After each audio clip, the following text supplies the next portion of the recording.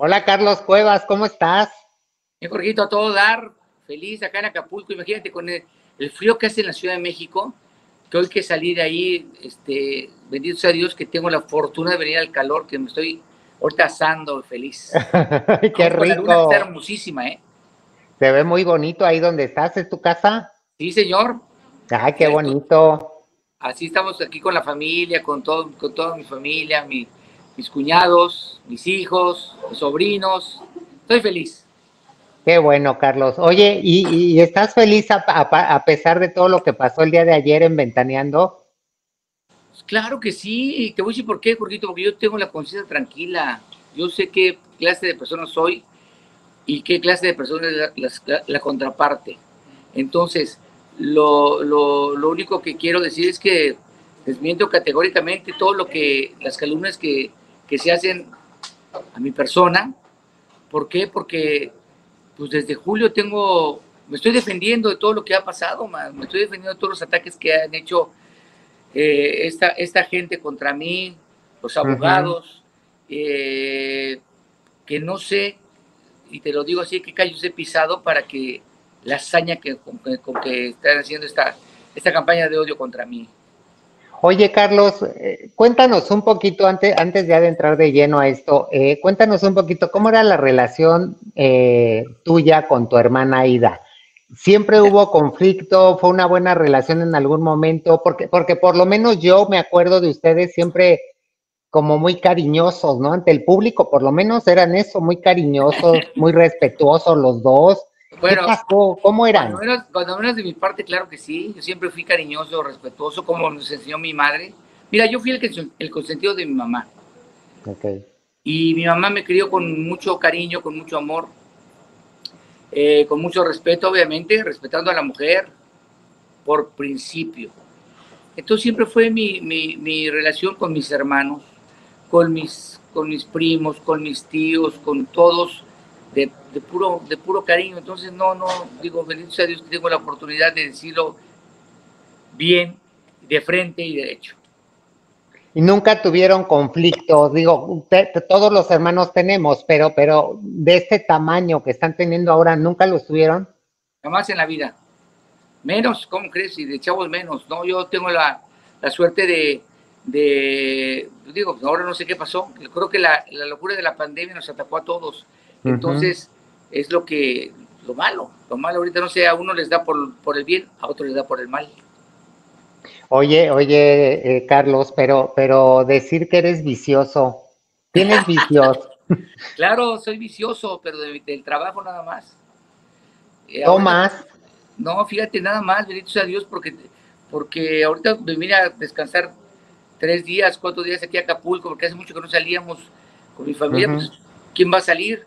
Claro. Y, pero me, he dedicado a trabajar toda la vida. Yo creo desde que, creo que me conoce, que naciste, mi querido, porque veo que estás joven. Eh, yo he, trabajado toda mi vida. Soy un tipo vicioso del trabajo, vicioso de, de, pues, de querer la perfección, aunque nunca la voy a encontrar, pero sobre mi carrera, ¿no? Claro.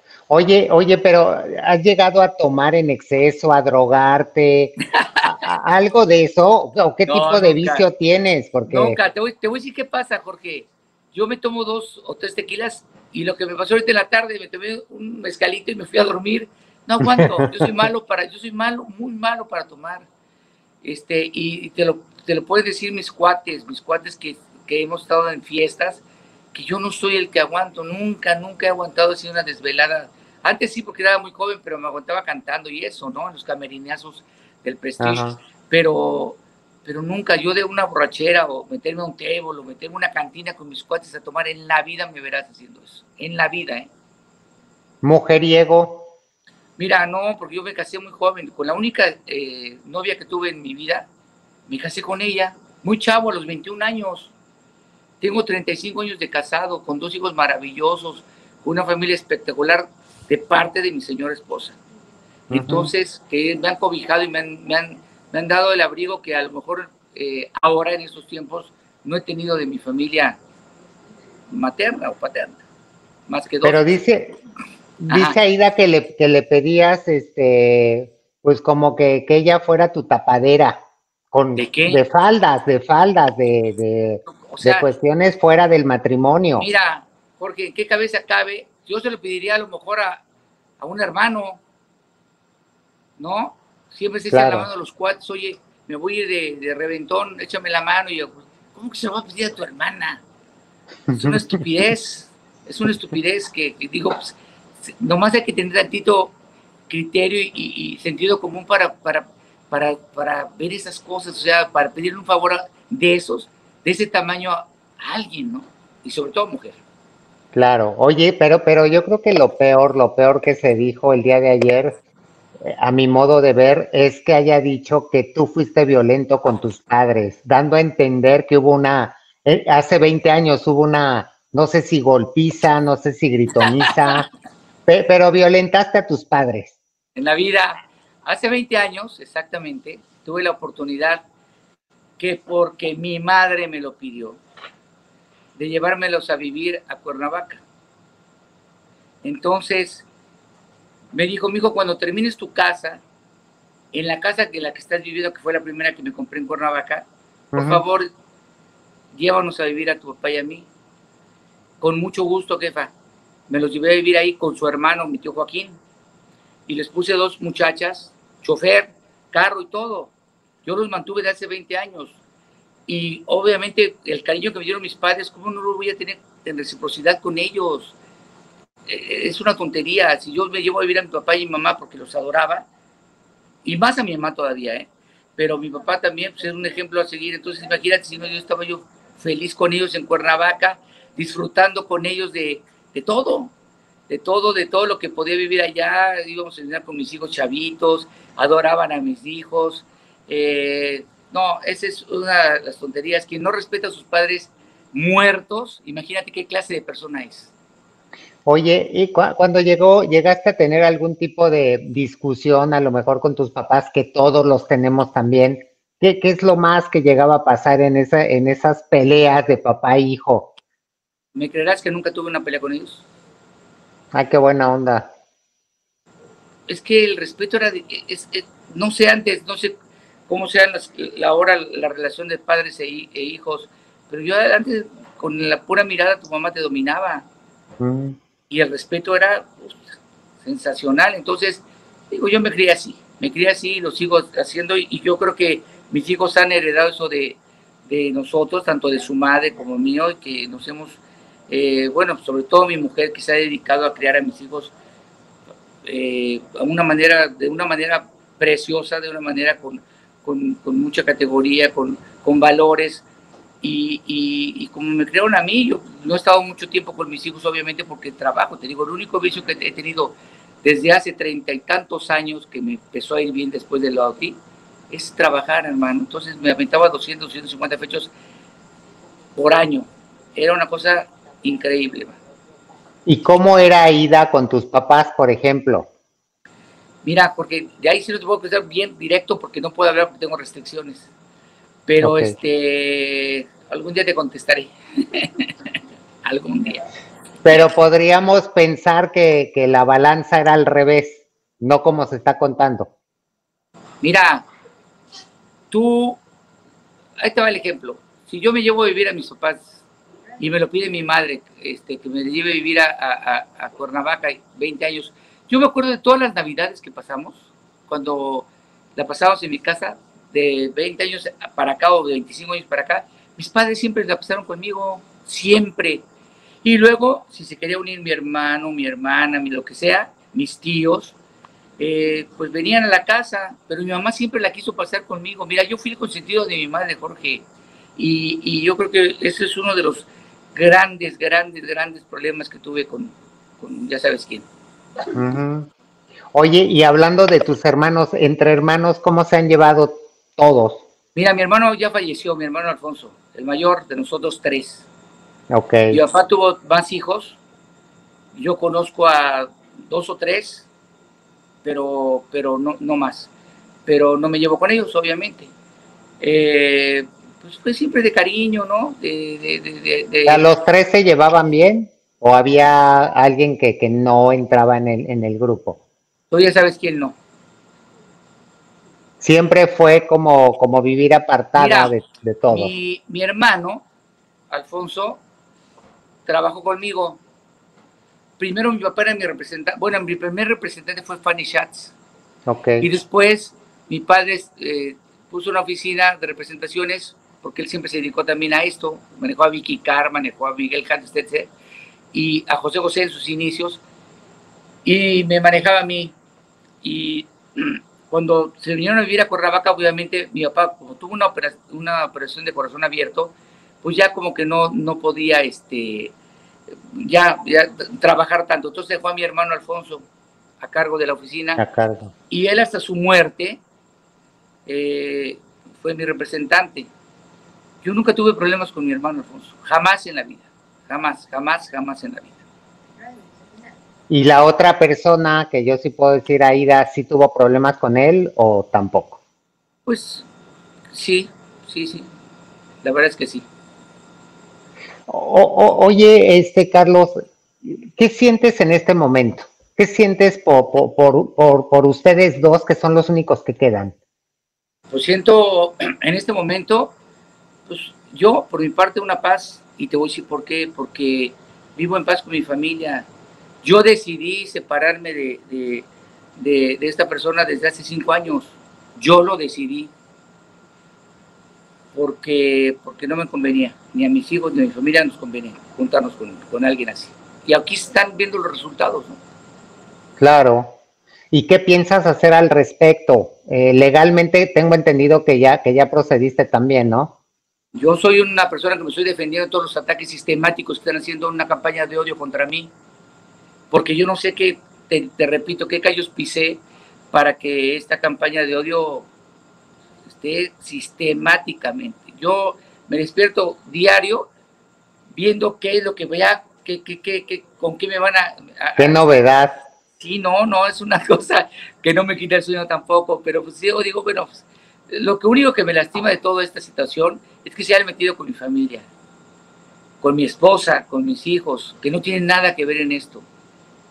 Entonces, eh, yo he defendido causas en contra de, cualquiera que se ha puesto, bueno, Joaquín Muñoz, que dijo que, tenía, que, un hijo de Juan Gabriel era el hijo de ya sabes quién, y yo defendí esa causa, y aún así, yo no sé, este, se molestó. Entonces, hay que digo, reconocer que sí se parece, digo, a lo mejor es pura coincidencia, pero sí se parece. No le vamos a hacer también. Ojalá se pareciera en lo talentoso. Pero no. ya lo pasaste a fregar tú también. No, yo no te hablo de nadie, yo no estoy eso. Imagínate tener un hijo, ser un hijo de Juan Gabriel. Si claro. talento, puta, sería. Pero sobre todo, si heredaste su fortuna.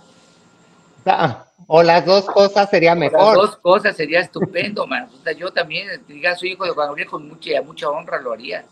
Pero ahora Oye, que por cierto, te, te, echó las habladas Joaquín Muñoz, ¿no? Que te andabas comiendo a Juan Gabriel, eh, dijo. Pero mira, ¿de quién viene? Yo te, mira, yo soy hombre de paz. Si yo fuera otra clase de persona, eh, yo creo que, que pues, hubiera ido a las últimas instancias legales, ¿no? En primer lugar, o no sé cómo respondería. Pero pues, todo lo de quien viene, Joaquín es una persona grande que yo conocí hace 40 años, man, con Juan Gabriel exactamente, cuando sacó su libro ese de que, que un, una, una, un libro que sacó en contra de Juan Gabriel, se va Juan Gabriel y yo. Yo Ah, llevé sí. a Juan Gabriel con Eliseo Fuentes León para que parara esa bronca.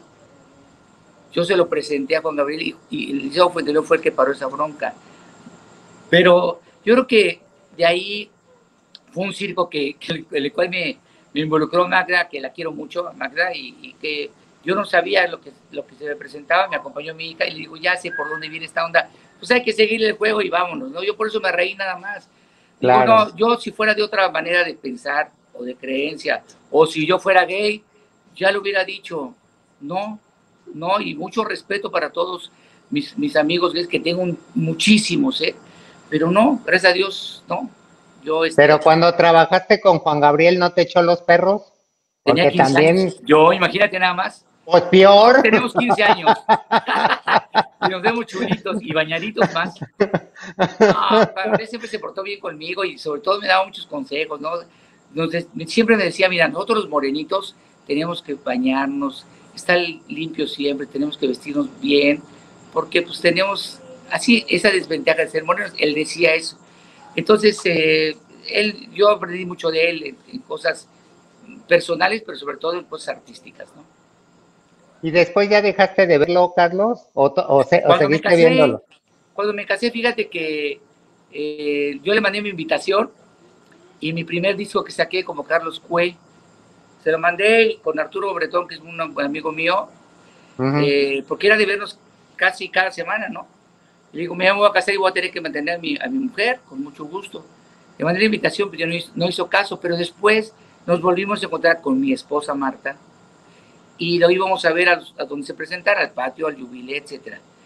Eh, cuando existía el jubileo, un día fuimos y como siempre me decía, me llevas a mi casa, yo lo llevé a su departamento junto con mi esposa a Tecamachalco. Entonces, cuando ya los puse, bueno, Alberto, muchas gracias, no, no súbanse porque vamos a cenar. Y nos hizo unos huevos revueltos con jamón ahí para cenar a mi esposa y a mí. Eh, iba a Paz Alcaraz y, te digo, era un, ser lleno de luz y, conmigo siempre se portó maravilloso y con mi esposa también.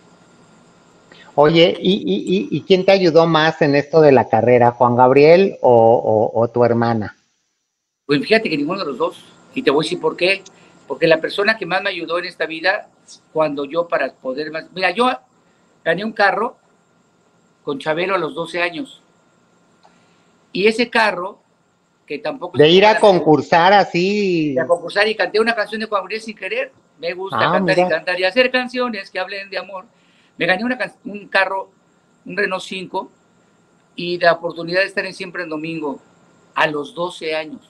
O sea, que no se cuelguen las medallas a alguien que me diga, yo lo presenté con Robert Velasco. No es cierto. Yo me gané por mi mérito propio la oportunidad de estar en Siempre en Domingo a los 12 años de edad. Después me metí a Valores Juveniles, después gané la voz del Heraldo, gané el cincuentenario de la XW. Eh, de ahí me dieron la oportunidad, obviamente, de estar en el Festival OTI, pero porque don Vicente Fernández, mi padrino, que siempre lo he llamado así, y Fanny Chats, le llamaron a Raúl Velasco y le dijeron que si alguien tenían que apoyar, le dijeron, Raúl, si alguien tienes que apoyar, es a Carlos Cuevas, porque es el que se va a quedar. Y don Raúl hizo caso, me metieron a Loti y gano con la canción de un bolero, el nacional e internacional, con una canción de, Pedro Alberto Cárdenas y Francisco Curiel. Y resulta que gano el internacional y la oportunidad de estar 18 programas consecutivos en Siempre el Domingo. O sea que no se cuelgue la medida de nadie. Vicente Fernández, Fanny Chat, Luis Mario Santos y don Raúl Velasco fueron los que me ayudaron a estar ahí. Y obviamente tu talento, que fue el, pues, trabajo lo que, lo, que, lo que realmente te apoyó, ¿no? El trabajo, Gorquito, el trabajo, el trabajo, tienes que tener un, 90%, un 90% de trabajo y un 10% de, de, de un poco de chispa en tu cerebro, ¿no? Y de talento. Y el, y el hecho de que en ese momento tu hermana ya tenía un nombre dentro del medio artístico, ¿te ayudaba o, te llegaba incluso a perjudicar? Mira, a mí me firmó CBS, que ahora es Sony, en 1981 me, me firmó y me puso Carlos Cue para no colgarme, decían ellos, del apellido Cuevas. Y así salió mi primer disco, como Carlos Cue. Obviamente después, pues yo, este, como nos parecíamos tanto, físicamente nos relacionaban, ¿no? Así de claro. estoy este, y, pues ya sabían que éramos hermanos, después ya empezamos a, hacer carrera por cada uno por su lado, a tener éxito los dos, gracias a Dios.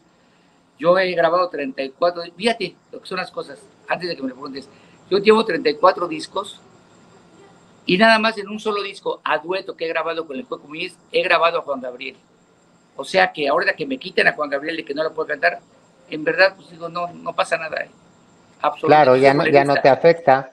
Y tengo autores como Manzanero, que me han dado canciones inéditas. Tengo autores como Agustín Lara, Napoleón, etcétera, que me han dado boleros preciosísimos, ¿no? Pero en algún momento ustedes sí trabajaron juntos, ¿no? Como hermanos. Claro.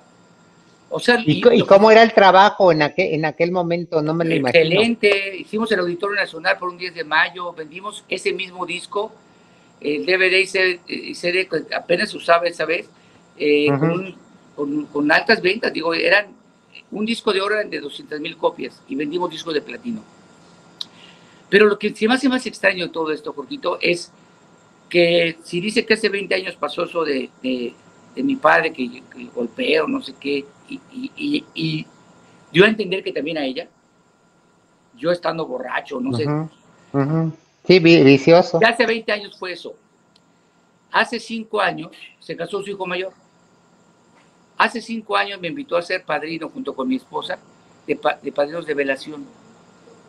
Hace 5 años hicimos dos, dos lunarios del Auditorio Nacional. Hace 5 años nos fuimos a Europa 20 días, su familia, su, ella sus, sus hijos, y yo con mis hijos. Entonces, ¿tú crees que es la incoherencia? Si tú odias a alguien porque golpeó a tu padre y, te golpea a ti, oye, pues eres un masoquista. ¿Por qué te juntas con ese güey que te, que te hizo tanto daño, no? Es la incongruencia de la vida. Pero todo esto lo tiene que demostrar en la vía legal. Oye, y, ella habla mucho de, de, su buena moral. Digo, y la verdad es que yo siempre he pensado que todos tenemos cola que nos pisen, todos, ¿no? Todos. Yo creo menos yo. ¿Tú sí crees que tenga una moral perfecta? No puedo opinar de eso. No puedo opinar, pero cuando pueda te lo voy a decir. Pero, pero tiene, tendrías, yo creo que mucho de qué hablar. Pues mira, ve, la historia de cada quien y ahí te vas a dar cuenta. Compara, compara la historia de cada persona y vas a decir, pues aquí, por aquí viene esta onda, por acá no. Digo, bendito sea Dios que, que yo, yo sí puedo decir en este momento que, que no hay cola que me pisen, no pueden encontrarme nada, nada de lo que están diciendo, nada de las calumnias que están diciendo esas personas. Oye, Carlos, y, y, y vas a llegar hasta las últimas consecuencias, pase lo que pase, eh, ¿Crees que pudiera llegar en algún momento un arreglo entre ustedes dos o, qué piensas? Mira, yo estoy abierto a cualquier negociación con quien sea. Yo no tengo pleito con nadie, yo no me peleo con nadie. Es lo que quiero también que entienda la gente. Yo no vivo de pleitos, yo no me he peleado con nadie. Si se pelean conmigo es problema de ellos. Claro. Yo no busco pelea, yo no busco broncas. Ahora, eh, yo me estoy defendiendo, Jorge yo no estoy buscando bronca, ni estoy acusando a nadie, ni, ni voy a fregar a nadie. Yo me estoy defendiendo.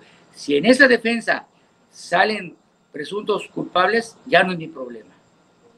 Pero sí voy a tratar de defenderme hasta las últimas consecuencias y defenderme mi honor, mi carrera, pero sobre todo mi familia por delante, ¿no?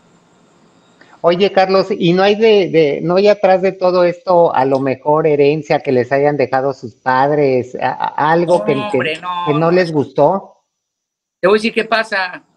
Eh, la única herencia que, que, dejaron mis padres fueron la educación, porque mi papá fue un hombre muy exitoso de muy joven, pero igual se lo gastó y se lo gastó con nosotros eh, te digo, y lo repito, mis papás terminaron eh, su vida en mi casa en Cuernavaca. Entonces, no, de ahí no, no, no pudo pasar nada. Simplemente no sabes de dónde venga todo, todo el rollo. Es lo extraño de esto, no sé por dónde viene el trancazo o qué callos he pisado para que se hayan ensañado conmigo. Porque lo, yo me acuerdo que lo más que dijiste fue eso de, Juan Gabriel, que no creías que, o que, no te constaba Que, le, hubiera pedido matrimonio, ¿no? Como, como ella lo, lo cuenta. Claro, es lo único que he y, dicho. Y, es obvio que no te consta, sí, y, y, es obvio que no te consta porque ella misma dijo que fue, fue estando ellos dos solos, ¿no? Las tres veces, pues, tú no ibas a estar. Pero mira, búsquenle, te, te, yo a ti te reto, Jorge, que busques en alguna publicación mía en alguna entrevista mía que yo haya hablado mal de mi hermana, mal, que le he hecho alguna calumnia, que le he hecho una grosería, cualquier cosa. Le reto cualquiera, no lo van a encontrar. Yo no he hecho nada contra mi hermana. Ahí está lo más triste de todo esto. ¿A tu familia qué le ha hecho? No, pues eso último que ha hecho, digo, gracias a Dios, mi familia sabe, mi, mi mujer tengo 35 años de casado, 35 años de que conocemos a ella, conoce a mi familia y sabe de qué pie coge a cada uno. Sabe la clase de personas que somos cada quien. Mis hijos los he educado también para que vean todo, el entorno familiar de cada familia, de, de, su madre, la mía. Entonces, en realidad te lo digo, si esto no fuera tan grave, eso de esas acusaciones que está haciendo, esa calumnia, está haciendo y mentiras de lo de mi padre, me estaría carcajeando como lo hicieron cuando, porque los puse a ver a ellos esto, es la repetición del, del programa este, del circo mediático que hicieron sus cuates, y se estaban burlando, se estaban riendo porque saben la clase, y yo se los, siempre se los he advertido, son capaces de todo, ellos son capaces de todo para poder, pero ya que se metan con familia, eso sí está claro, gracias a Dios, bendito sea Dios que pues, me conocen y saben quién soy, ¿no? Sí, si no te meten en un problemón, ya estuvieras divorciándote. O hijos que sí, que, que de veras eh, no, soy, no, no saben cómo soy, yo soy un hombre de casa, yo el 90% de mi vida cuando no trabajo me la paso en mi casa. Yo hasta digo, ¿cómo no fastidio a mi vieja yo estando tanto tiempo en mi casa? ¿En serio? ¿Y ya le preguntaste si no la has fastidiado? Ya, y me dice que no. Aquí me está viendo. Aquí estamos todos. Ay, qué bueno. sabe, sabe que, no, mira, bendito sea Dios, Jorgito. Yo soy de una sola pieza y si no me cae algo bien, lo digo en ese momento. Por eso, por eso es que me he llevado tantas enemistades con esos porque yo siempre digo la verdad y cada vez que me piden una entrevista a cualquier medio, estoy para contestar mi verdad y la verdad que es, porque, porque eso, es, eso es lo más bonito. Como decía Juan Gabriel, si es tan bonita la verdad, ¿por qué mentir? Claro, claro, no le damos vueltas. Oye, Carlos, y bueno, ya cambiando de tema, eh, cuéntanos cómo has pasado la pandemia, qué vas a hacer eh, en este tiempo, ya regresas a trabajar, cuáles son tus planes, cuéntanos un poquito. Fíjate que hecho, yo desde el 20 de marzo que, que me, pues ya dijeron que no íbamos a poder hacer la Arena Ciudad de México con Pancho y con Coque, eh, que nos pasaron para octubre, que tampoco se va a hacer. Yo dije, voy a regalar un show streaming desde mi plataforma de Face, con mis músicos, con una orquesta, con mi orquesta que siempre trabajo, y a nivel profesional lo hice desde mi casa de, de Cuernavaca, y de ahí se fijó en mi e-ticket y me propuso ser socio para hacer streaming cada mes con diferentes invitados y lo he hecho así con el COC. Entonces, ahora voy a hacer el próximo, que es el sexto, en el, 30 de octubre con mi querido Pancho Céspedes. Te digo, yo, yo en la pandemia la pasé trabajando, gracias a Dios, y sigo trabajando. bueno. Me ocupo, no me preocupo. Claro, como debe de ser. Sí, señor. Sí, señor. Y así te vas a seguir, Carlos, mientras todo se normaliza, todo vuelve a la normalidad. Sí, porque este año yo no creo que haya un show en, bueno, el próximo 10 me voy a Coatzacoalcos y voy a hacer un voy a hacer un show en privado para unas personas que ya he hecho también en Mérida, etcétera. Y eh, pero de aquí a que se normalice todo para a hacer lunario, ya me cambiaron la fecha para el lunario, me acaban de mover unas fechas también. Gracias pues, pues a esto que está pasando con el problema este. ah, te ha este, afectado también en el trabajo, este, Claro me ha afectado, claro que me ha afectado. Ahorita me acaban de llamar para eso. Mi querido Onis de Salcelia, que es de, Tampico, tenía el 18 de, diciembre y prácticamente yo dije, mándamelo por escrito porque esto no puede suceder así, bueno, ni modo. Pero digo, no, no, digo, sí me afecta económicamente, claro. moralmente no me afecta bendito sea Dios. Pero, pero a la hora de los trancazos legales, pues hay que, hay que exigir, hay que pedir que, se regrese todo lo perdido, ¿no?